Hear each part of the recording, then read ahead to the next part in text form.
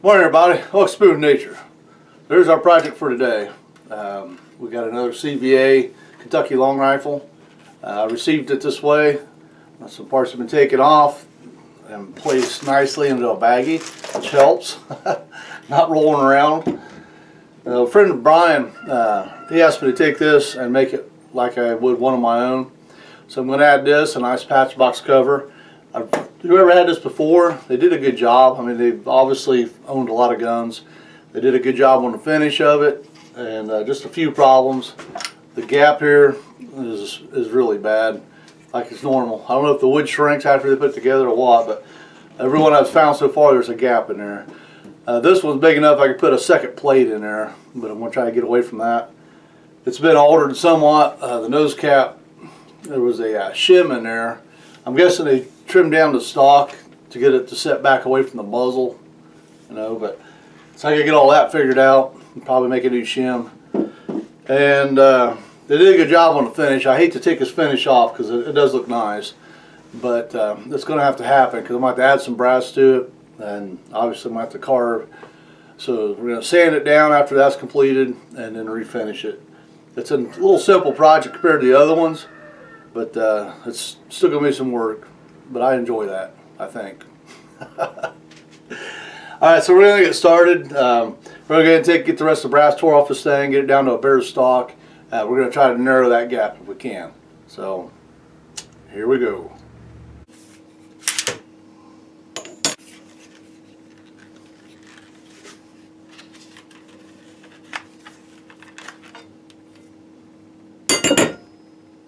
This will be our starter project. You can see there's a pretty good gap in there. Uh, we're going to try to lessen that gap. Ta-da. How about that? You see it now? So we're trying to to get rid of that gap as best we can. And it looks like they've cut down the stock to bring that nose cap back. And they didn't get it cut square. So that's kind of what I'm working with. Uh, we'll try to get it back to square.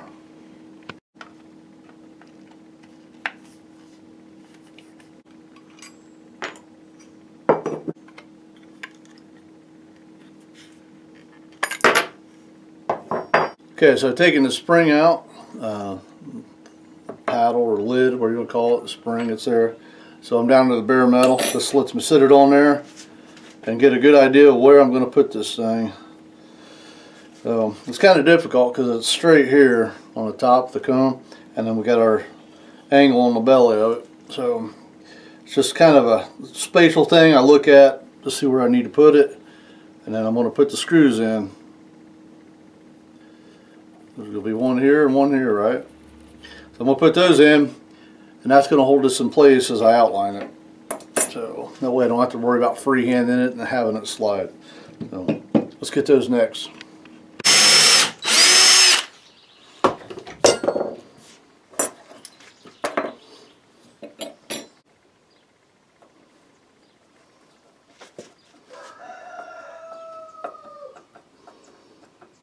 We're just going to have to take a chisel and follow that outline. I went ahead and took the stock off because uh, it wasn't necessary at this point. It doesn't need to be in there.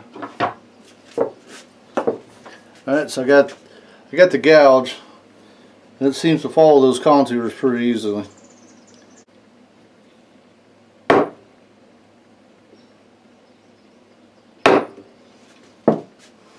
Alright, so just took a Forstner bit and hit the uh, the top piece parts of this because that was just easier than trying to chisel that out. It's a really tight radius. So Forstner bit, got that drilled. That gives my location, and then I'll continue on uh, with the chisels. It's got a nice little pilot. Get in where I can even see it. Yeah. Alright, we'll keep on with that. Uh, let's take a look and see where we got on this.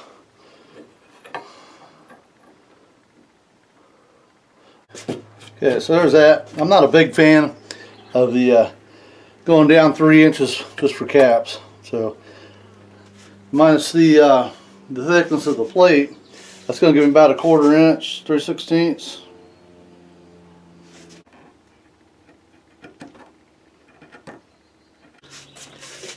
We go to that, and we're at a half inch right now. And if we uh, subtract the plate, it's about an eighth of an inch. So, uh, we're going to be three eighths. We'll get done with that, so that's going to work. That's enough room you can reach in there and grab your caps. Now we're going to start taking this away. We got the easy work done, now it's time for the intricate, slow work.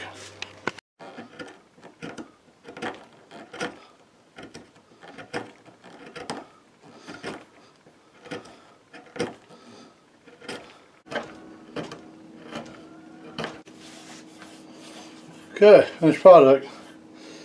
I got a notch out for the spring. Then you can start setting it in. So, not bad. Finished product right there. So, that uh, did have a little problem. I had a lot of problem. um, flat here then as I got here, it started to round over. So what I had to do was, was get this set on the top, hold that down, and then bend that corner down to match that profile.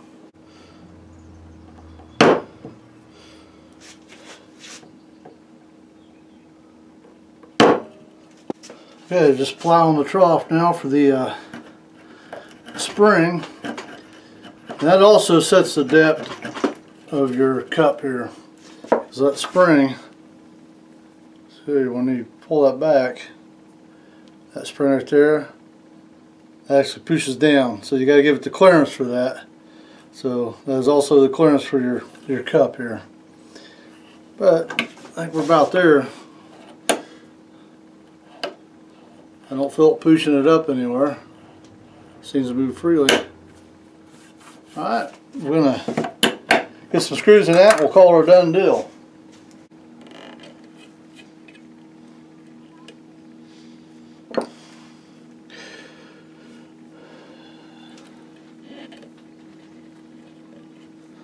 Okay, we're going to continue on with this.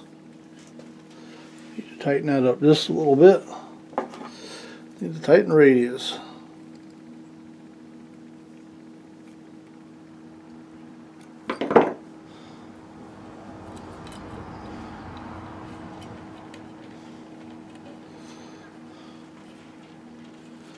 Uh, coming. They're getting there. Okay, so here's the little detail I added. Uh, just a piece of brass wire. And just so we start. Okay, so here's a detail a detail that I started with. I just took a regular piece of brass wire and I flattened it out, give it some shape. And I'm going to put that on the back of that. And voila, give it a little character. So that's uh, I'm going to carve that out and set that in also and then um, this part should be done and we'll be ready to sand it and get the flat part of it. And uh, I really like that. Turned out well. Might do a little bit down here but we'll see. Anyway moving on. So I got that one set in. Now I'm, I got another piece of wire. And I flattened that out. I got a shape that I want. And I'm starting to get that one set in next and then it'll be done. I did go out and buy this nice little tool. Let me back that up. I did go out and buy this nice tool and it's really helped me a lot. Uh, my carving skills are not where I want them to be for something like this and this certainly helps. Uh, big thanks to my buddy Chris for setting me up with that idea. Uh, I did a great job on that. Thank you Chris. Alright, moving on. So we're going to get this set in a little better. Uh, it's closed. You got to go real slow and take little pieces at a time. Okay, so got that all done. So now we're just going to sand this and uh, get right back down to that base wood and start over. But uh, that turned out pretty good. This is one of my better ones I've done. Impressed with this one.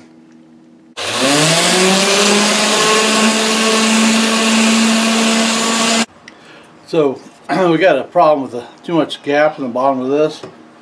Uh, this is the piece that normally comes in there. and it's too thin. So what I'm going to do is take this piece of brass that I finally found and uh, we're going to make a new spacer in there. It's about double the thickness though. So that's going to work out good. Uh, that's enough thickness to move this uh, forearm piece all the way to the end. The nose cap and everything will line up that way. So uh, what we're going to do now is let's go ahead and lay this out and uh, get that made. What I like to do actually with this, just a, a black sharpie and I'll just mark up the black, uh, mark up the brass. Yeah, since I don't have any layout fluid, this is the the next best thing. So, try this quick. I'm going to go ahead and get this laid out and start making one. Okay, so we're almost there. Uh, I'm just going to take a file now and get all this work down. So we have this shape. Ta-da, ta-da. Alright, so it's time to, we're going to start uh, fine-tuning this thing. Okay, finished product. Turned out pretty good. Uh, so now we're just going to reassemble this. Uh, going to put that in. So go there. We at? There we are. So that's going to go there. We'll put that in, put the barrel on, and then work on the nose cap. So that's where we're moving to next. Okay, so we got the spacer in. I'm going to have to profile it to match this. Uh, went ahead and uh, had steel pins in it. I took those out. We're going to put brass ones in. And then we'll get those profiled as well to get it all one nice flat surface.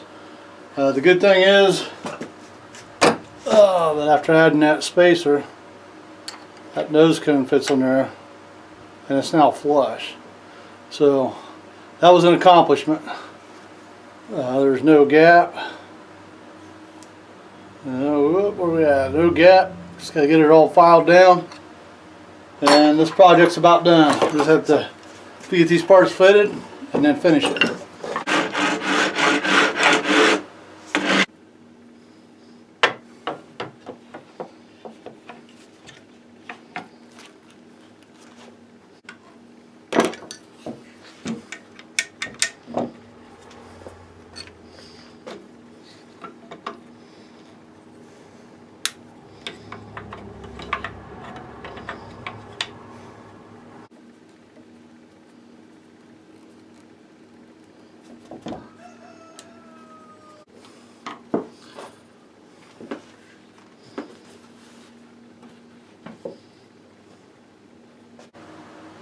Okay, so everything's fitted, sanded, and ready to go. Um, this made a big difference, big, big difference. It, you'll see a shadow there uh, because these two pieces were evidently sanded separate. This is flush, this is not. So um, this is the best it's going to get. Um, sometimes that's all you can do. Uh, we got it pinned the nose cap says flush, which the gap is gone. The nose cap's flush. That was what I intended to do, so I've accomplished my goals. So at this point, uh, we're going to do the old tung oil finish on it. Uh, I'm going to go ahead and mix it with some uh, walnut stain that I'd actually made from walnuts. Uh, give it a little bit of darkness to it. And that's about it. So we're moving on to that next. So this is a dried finish and uh, I'm going to take some 3000 uh, sandpapers now because like I said it raises that grain. I'm going to take that over and knock that down and uh, then we'll be moving on to the uh, tung oil. At this point, at this point we got the, uh, the walnut stain on, kind of cobweb.